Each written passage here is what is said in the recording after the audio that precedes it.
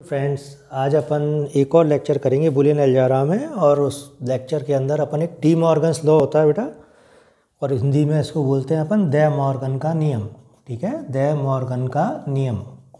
अब ये दे मॉर्गन का नियम क्या तीन जगह आएगा अपने अलग अलग एक सेट थ्योरी में भी आएगा बेटा, एक लेटिस में भी आएगा, और एक ये बुलियन अलजबरा में भी आएगा। तो वो झाँक पे आए, जिस चैप्टर में आए, या जिस यूनिट में आए, उसके हिसाब से आपको उसको देखना पड़ेगा, ठीक है? तो क्वेश्चन किस तरह से आ सकता है एग्ज़ाम में? कि बुलियन बीज गणित में दे मॉर्गन का नियम क्या है? कथन दो एवं उसे सिद्ध करो। तो बड़ा मोस्ट नियम है ये और बड़ा पूछा जाता है ये क्वेश्चन ठीक है? तो अपन क्या स्टेटमेंट लिखेंगे? कि यदि B comma plus comma dot dash zero one एक बुलिय बीज गणित है, एक बुलिय बीज गणित है। यदि b plus dot dash zero one एक बुलिय बीज गणित है, तब b के किन्हीं, तब b के किन्हीं दो स्वेच्छ अवयवों, तब b के किन्हीं दो स्वेच्छ अवयवों, a तथा अवयवों, a तथा b के लिए क्या होता है बेटा? बेटा कि पहला ये कहता है कि a प्लस बी का जो पूरक है, वो क्या है? A dash into B dash है। तो ये डैश जब अंदर जाता है तो प्लस को डॉट में कन्वर्ट कर देता है। तो ये याद करने का इसको तरीका है अपने का, ठीक है? कि अगर a और b b के दो अवयव हैं तो a प्लस बी भी बी का अवयव होगा। वो कहता है a प्लस बी का जो पूरक है, वो क्या होगा? A dash into B dash होगा। ये बुलिय बीज गणित में डी मॉर्गन का पहला लॉ है। और दूसरा लॉ क्या है बेटा? कि अब अपन जो है प्लस की जगह तो डॉट कर देंगे और यहाँ पर डॉट की जगह प्लस कर देंगे अपन, ठीक है? तो ए इंटू बी का जो पूरक है, वो किसके बराबर आएगा? A dash plus B dash के बराबर आएगा। तो ये बुलिय बीजगणित का अपना दी मॉर्गन का दूसरा नियम है। अब इन दोनों नियमों को अपने को क्या करना है? यहाँ प्रूफ करना है। और बेहद इंपॉर्टेंट प्रूफ है, क्या है? कि अगर ए और बी बी के दो अवयव हैं तो ए प्लस बी का जो पूरक है, वो किसके बराबर होगा? A dash into B dash के बराबर होगा। और ए इंटू बी का जो पूरक है, वो किसके बराबर होगा? A dash plus B dash के बराबर होगा। तो ये अपने को अब इसमें प्रूफ करना है। तो सबसे पहले प्रूफ के लिए अपन क्या करेंगे? देखो कि प्रूफ ऑफ़ फ़र्स्ट लिखो आप। अब वो ये कहता है कि ए प्लस बी का पूरक ये है। तो आपने बुलिया बीजगणित की जो परिभाषा पढ़ी थी, उसमें क्या क्या नियम पढ़े थे? B one B two B three B four तो बी फोर जो था, वो पूरकता का नियम है। और पूरकता का नियम क्या कहता है वहाँ? कि अगर ए बी का अवयव है तो ए डैश भी हर हालत में बी का अवयव होगा। और उस केस में अपन ये लिखते हैं कि A plus A dash is equal to one और ए इंटू ए डैश बराबर ज़ीरो ये पूरकता के नियम हैं वहाँ पर अपने बुलिया बीजगणित के अंदर। जब ये सेटिस्फाई होते हैं, तभी बुलिया बीजगणित बनती है। तो ये कहता है कि ए प्लस बी का पूरक ये है। इसका मतलब क्या है? कि अगर अपन a प्लस बी में उसके पूरक को, a प्लस बी में उसके पूरक को, पूरक कौन? A dash into B dash को जोड़ें तो क्या आना चाहिए? वन आना चाहिए। इस बात को समझने की कोशिश करो। वो कह रहा है, शुरुआत में ए बी में है बी बी में है तो ए प्लस बी भी किसमें होगा? बी में होगा। और जब ये बी में होगा तो ए प्लस बी का पूरक भी किसमें होगा? वो भी बी में होगा। अब वो ये कहता है कि ए प्लस बी का जो पूरक है वो ये है A dash into B dash तो उसको कैसे सिद्ध करें? तो अपन जानते हैं a के पूरक में जब अपन ए को जोड़ते हैं तो वन आता है और ए को ए के पूरक से गुणा करते हैं तो ज़ीरो आता है। तो ये चीज़ अपन को यहाँ सिद्ध करनी है कि यदि ए प्लस बी के पूरक में अपन A dash into B dash जोड़ेंगे तो उसका मान क्या आएगा? वन आना चाहिए और उसको अगर गुणा करेंगे, ए प्लस बी को उसके पूरक से गुणा करेंगे तो इसका मान क्या आना चाहिए? ज़ीरो आना चाहिए।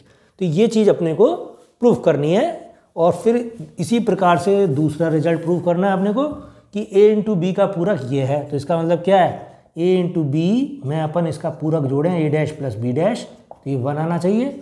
और ए इंटू बी में अपन A dash plus B dash को गुणा करें तो क्या आना चाहिए?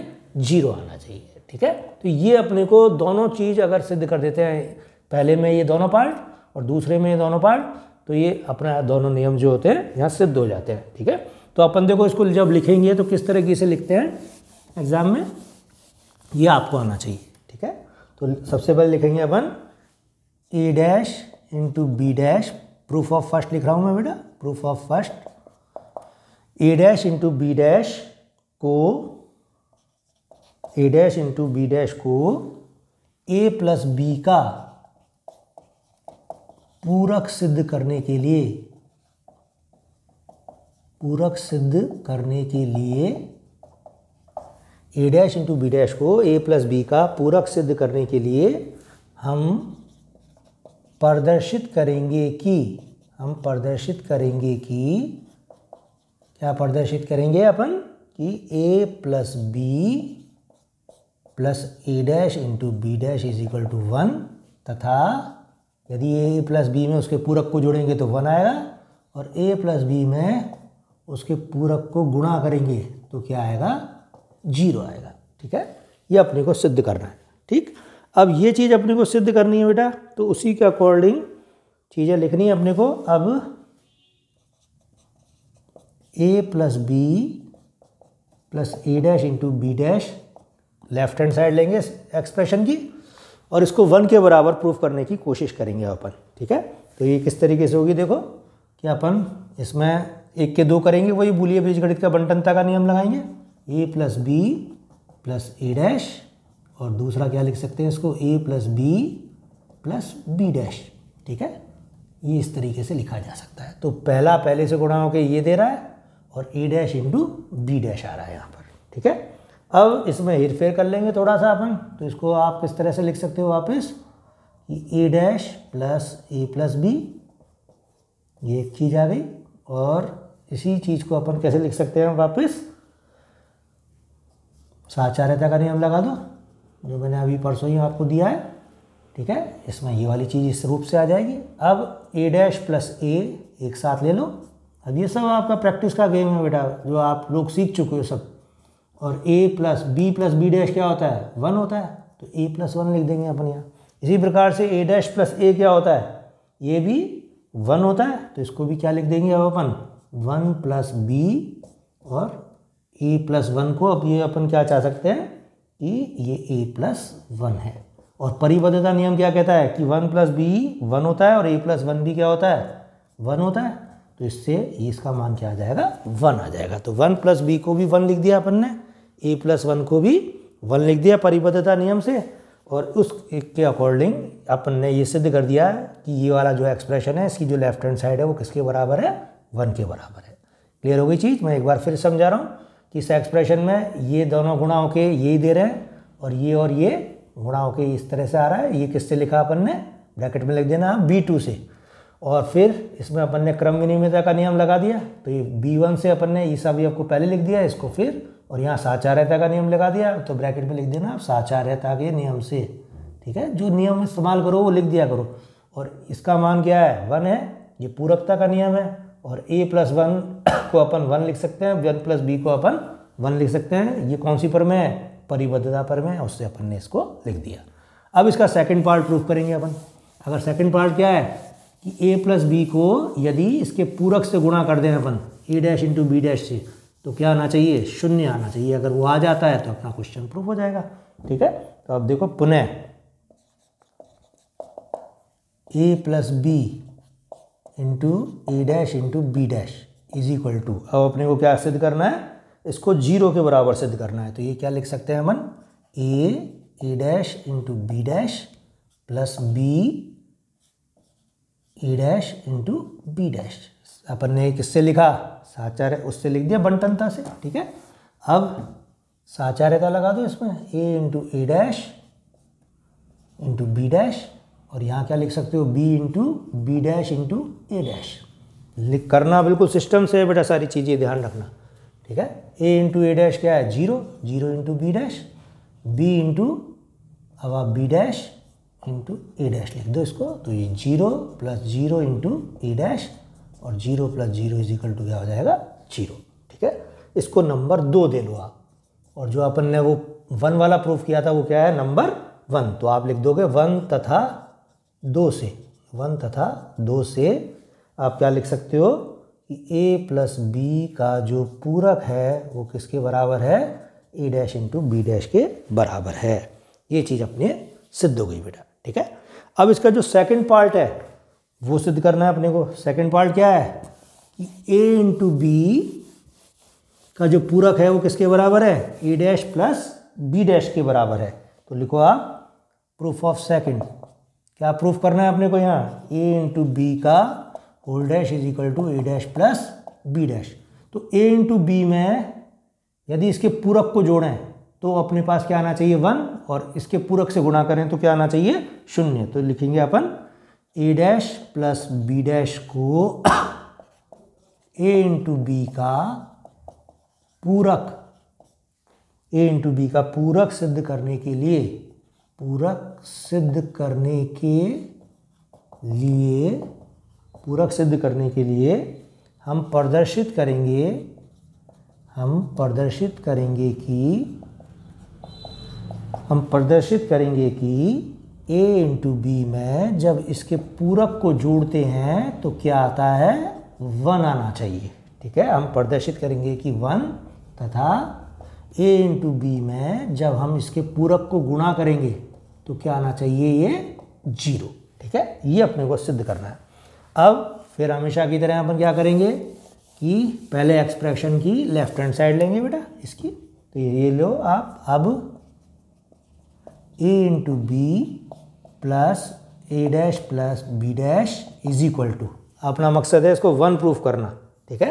तो सबसे पहले आप इसमें, उसने क्रम नियमिता लगाई तो आप भी क्रम नियमिता लगा लो, जिससे वो पिछले वाले एक्सप्रेशन से भी वो सेम रहेगा। अब एक के दो कर दो, इसको ए मान लो कैपिटल ए तो ए प्लस ए बी क्या हो जाएगा?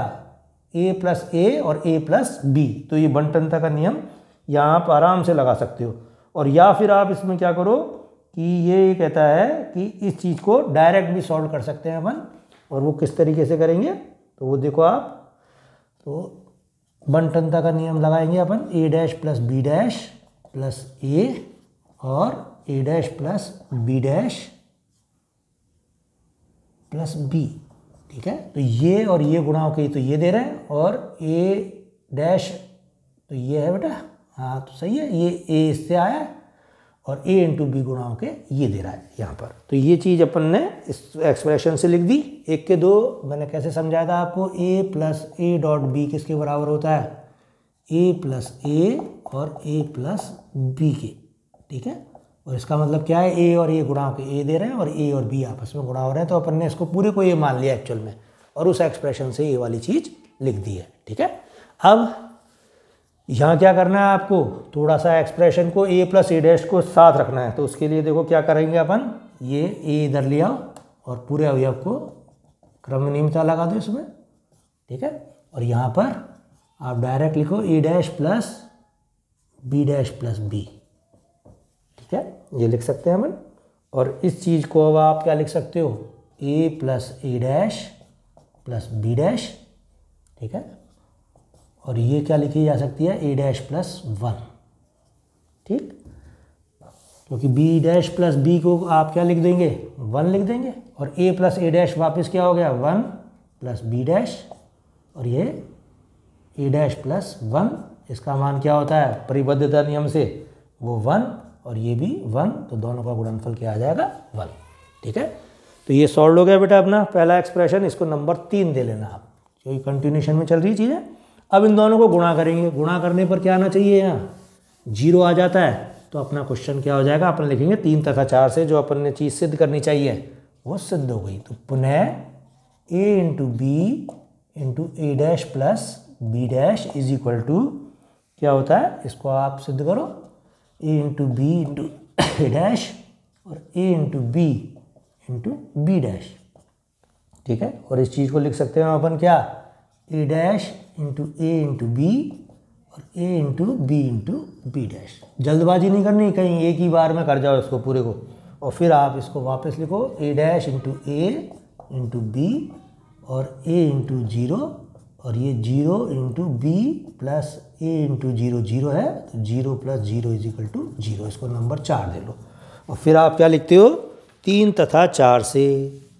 तीन तथा चार से। क्या लिख देंगे बेटा अपन? कि ए इंटू बी का जो पूरक है, वो किसके बराबर है? A dash plus B dash के बराबर है। तो ये एक बहुत ही मोस्ट नियम था जो मैंने कराया आपको। क्या है नियम? कि यदि B plus dot dash zero one एक बूलिया बीज गणित है और ए और बी इसके दो अवयव हैं तो ए प्लस बी का पूरक क्या होता है? A dash into B dash होता है और ए इंटू बी का पूरक क्या होता है? A dash plus B dash होता है। इसको बूलिया बीज गणित का डे मॉर्गन का नियम कहते हैं डी मॉर्गन्स लॉ कहते हैं। कई बार ये क्या कुछ राइटर बेटा ए को कैपिटल ए बना देते हैं बी को कैपिटल बी बना देते हैं और प्लस को यूनियन बना देते हैं। और फिर वो ये लिख देते हैं कि ए डैश डॉट को वो इंटरसेक्शन बना देते हैं A dash into B dash और इसी तरह से ए इंटरसेक्शन बी का जो डैश है, वो A dash union B dash तो ये सेट थ्योरी में ये चीज़ हो जाती है अपने, ठीक है? और इसी चीज़ को वो जॉइन और मीट के फॉर्म में भी दे सकता है आपको। तो वो मैं आपको बाद में बताऊँगा, जब भी आएगी। तो डी मॉर्गन का लॉ कई जगह बहुत ज़्यादा महत्वपूर्ण है बेटा, उसको अपने को करना है। ठीक है? और बीच में थोड़े से लेक्चर नहीं हो पाए क्योंकि मेरे कोविड हो गया था और मैं ये मान लो मौत के मुँह से तीसरी बार बचाऊँ पिछले साल में। दो बार मेरे को अटैक आ गए हैं पिछले साल और एक बार अब कोविड हो गया था।